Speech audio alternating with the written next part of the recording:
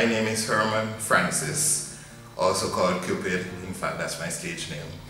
I'm from the beautiful village of Salem in Montserrat, and I love Calypso.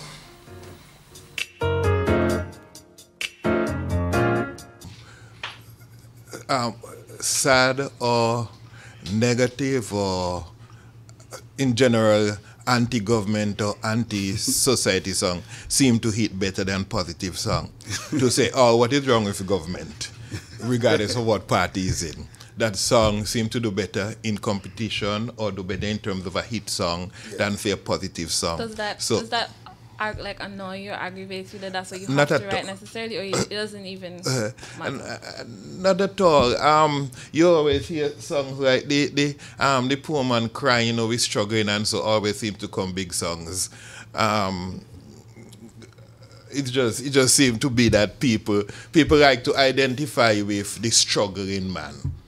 Um, the poor man, the struggling man, that sort of thing. Nobody would want to identify with the one who is doing well is where you have strong party division, St. Kitts, Antigua, Trinidad, they, they tend to, Calypso tend to use that opportunity not only to endorse their support, but to try to either praise the government in power or not.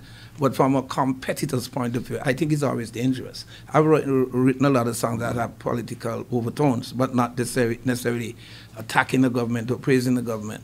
And because I feel when you go on a stage and you want to be appreciated by all, but if you start to sing a song and judges too, we have judges, especially in Antigua, like they, they claim that only uh, ALP supporter for the last years could reach could reach in neighbor. Well, oh, this going overseas? Okay, I'm sorry. Well, I always take responsibility for my words. Um, you divide the audience and you divide the judges too. Yes. Because they're human beings. Yeah. Now, the approach to politicians reacting to Calypso in Trinidad, I think is fantastic. Because when I, when I was a student there, uh, the, these, the politicians will make sure they get a front seat so that when the pick on time come, that they go pick on them. You know what I mean? They like that. Yeah. No, it's not the same in these islands. People take uh, uh, offended. When Trinidad people just fight the politicians for front seat. And they even said, sing for me, you know, say something. so I, I, th I think that was fantastic. I think that was fantastic. But I feel that this is a problem with the art form, coming back to Miss Golden's question, that is the easy way out.